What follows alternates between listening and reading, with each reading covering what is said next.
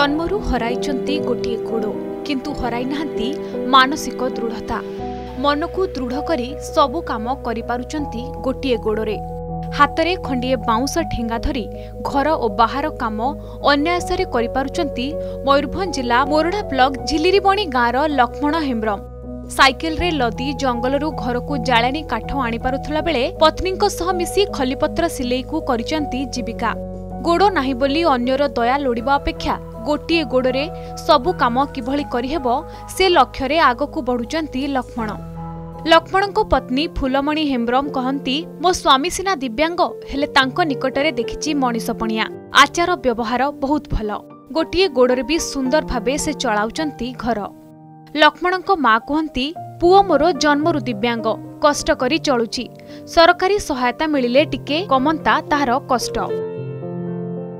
Handicap ଛୁଆ ଜନ୍ମ ହେଲା ଆଉ କ'ଣ କରିବା? ଯାହା କାମ କରୁଛି କରୁଛି କେ ଜିନିଷଟା କରିପାରୁଛି ସେଇଟା କରିକିରି ଖାଉଛି ଆଉ। ସରକାରକୁ ସରକାରକୁ ତ ଘର ଫର ବି ଦେଲେନି କିଛି ନାହିଁ। ଭାଙ୍ଗା ଘର ଏଇନା ଅଛି।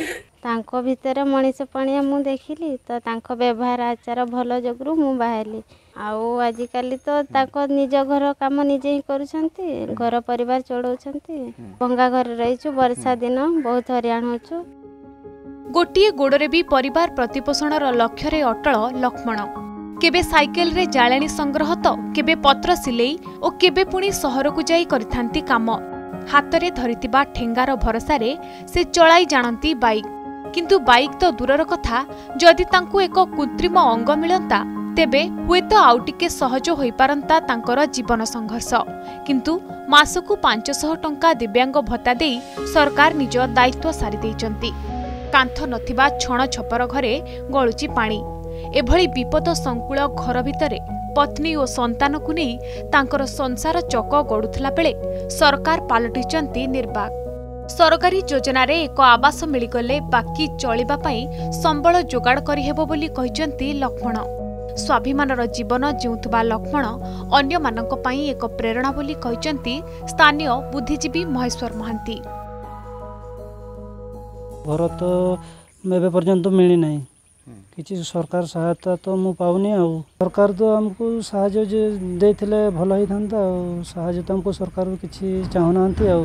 ସରକାର ଯଦି ତାଙ୍କ ପ୍ରତି ଆଉ ଟିକେ ସହାନୁଭୂତି ହେବେ ତେବେ ସେ ଆଗକୁ ବଢ଼ିପାରିବେ ଏବଂ ତାଙ୍କ ପରିବାର ଭଲରେ ଚଳିପାରିବ ଏବଂ ଭିନ୍ନକ୍ଷମମାନଙ୍କ ପାଇଁ ଏ ଗୋଟେ ଉଦାହରଣ କହିଲେ ଚଳିବ। କାରଣ ସେ ଯେଭଳି ଭାବରେ ନିଜ କାମ ନିଜେ କରୁଛନ୍ତି ତାହା ଦେଖିଲେ ଆନନ୍ଦ ଲାଗେ।